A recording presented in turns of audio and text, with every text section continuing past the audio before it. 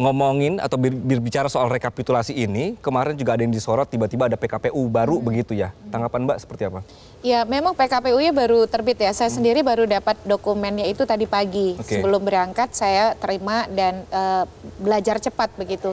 Ini memang menjadi anomali karena undang-undang pemilu kan tidak diubah sehingga kemudian tidak ada alasan produk hukum itu keluar lama. Undang-undang yang dipakai sekarang itu sama dengan pemilu 2019. Betul. Jadi pelajaran praktiknya itu sudah pernah dilakukan sehingga tidak terlalu sulit untuk uh, membentuk peraturan itu lebih awal.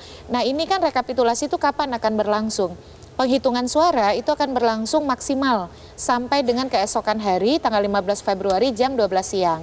Nah, eh, setelah itu 15 Februari dimulailah rangkaian rekapitulasi suara dari mulai uh, kecamatan. Jadi ini sekarang hasil akan dikirim ke kecamatan via PPS atau desa kelurahan dan naik ke KPU kabupaten kota setelahnya dan eh, KPU provinsi dan terakhir KPU RI. Diharapkan hasil paling lambat ditetapkan rekapitulasi penghitungan suara nasional pada 20 Maret 2024 kok bisa ya Hamin satu loh keluarnya kalau dari sisi jadwal ya. Urgensinya apa sih Mbak? Iya, urgensi. Ya ini sangat urgent karena kan. Oh, bukan uh, dengan PKPU baru itu? Iya, uh, bukan dengan PKPU baru oh. itu urgent atau tidak. Itu memang suatu keharusan. Okay. Jadi bukan lagi urgent.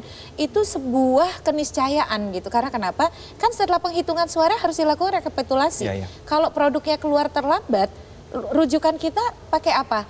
Regulasi itu kan tidak bisa serta-merta ditaruh di atas meja kita baca. Kita harus pelajari dulu, kasih pelatihan dulu, masyarakat paham dulu, media membaca sehingga bisa menjelaskan dengan baik kepada publik. Dengan demikian sosialisasi pemahaman masyarakat bisa seragam. Inilah yang kemudian membuat beberapa problem teknis di lapangan. Misalnya ada istilah baru, contoh, kalau dulu kan e, kalau untuk penghitungan suara ya, kalau dulu namanya kan formulir C1, sekarang hmm namanya C hasil. Walaupun satunya yang dihilangkan, tapi kan orang harus terbiasa. Kemudian kalau yang direkapitulasi ini, kalau dulu namanya formulir D1, sekarang formulir D hasil begitu. Nah yang hal-hal seperti ini menurut saya KPU harusnya lebih awal. Karena sebuah regulasi bukan hanya soal terbit, tetapi juga ada uh, proses sosialisasi, uh, apa, uh, pelatihan, uh, pemahaman, dan juga kemudian uh, proses untuk menguasai sehingga tadi ya kesepahaman di antara KPU, Bawaslu, peserta pemilu, masyarakat, pemilih itu bisa sama baiknya. Oke, gitu. akan mengganggu nggak Mbak teman-teman KPPS atau uh, yang sekarang sedang bekerja ini dengan aturan yang baru keluar last minute begini? Oh tidak, kalau rekapitulasi itu tadi nanti levelnya di kecamatan. Oh level di kecamatan Jadi ya, nanti, okay. nah ini yang ditampilkan di layar kita yeah. itu patut berbangga diri ya Mas Anggi. Yeah. Model penghitungan suara yang seperti dilakukan di layar itu satu-satunya ada di Indonesia semua orang boleh melihat, yeah. lalu kemudian angkanya ditulis tally di papan plano. Kalau untuk pilpres ada tiga lembar, ini disebut dengan the most transparent and accountable voting counting process in the world. Dan itu bisa teriak-teriak huhu lagi kan? Udah bisa teriak-teriak huhu ya. lagi. Rame, Di Amerika nah. nggak nah, bisa itu.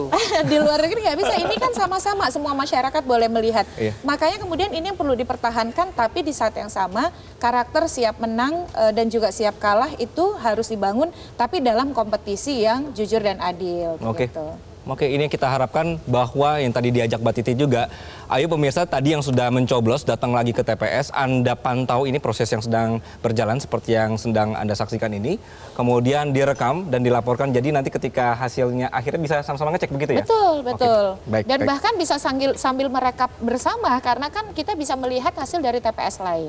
Oke, Mbak sampai di jam 3 ini jelang quick count akan dimulai, uh, apa temuan atau laporan dari teman-teman di lapangan? Kebanyakan itu soal terdampak terdampak hujan banjir. Oke. Okay. Jadi akhirnya prosesnya molor.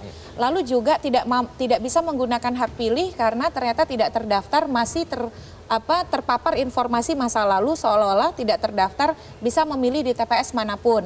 Tidak mengurus pindah memilih memaksa untuk menggunakan hak pilih. Nah, itu uh, kalau garis besar memang mayoritas persoalan teknis. Oke. Okay. Baik, masalah teknis masih ada ditemukan sampai sekarang begitu ya. Iya, Oke, Mas Arya, Mas Jayadi, ini ya. sepertinya ya anda ini berat sekali uh, mau di ini ya, mau dirilis datanya. Mudah-mudahan hasilnya oke okay ya atau sesuai. Sesuai dengan siapa di pertanyaannya.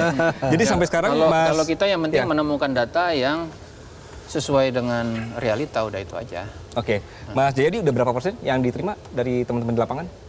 Sekitar 20-an persen. 20 persen, Mas Arya? Ini udah tembus 30 lebih ya. 30 lebih? 30 persen lebih ya, 32 sekarang. Oke, okay, berarti kita tinggal beberapa menit lagi akan announce atau juga sudah mulai dirilis untuk quick count. Dan juga pemirsa Anda akan terus bisa memantau perhitungan quick count-nya di Metro TV. Dan ini akan terus kami hadirkan. Termasuk juga tadi laporan dari masing-masing TPS atau juga posko pemenangan akan terus kami update sampai malam nanti atau sampai tiga hari ini pemirsa. Jelajahi cara baru mendapatkan informasi. Download Metro TV Extend sekarang.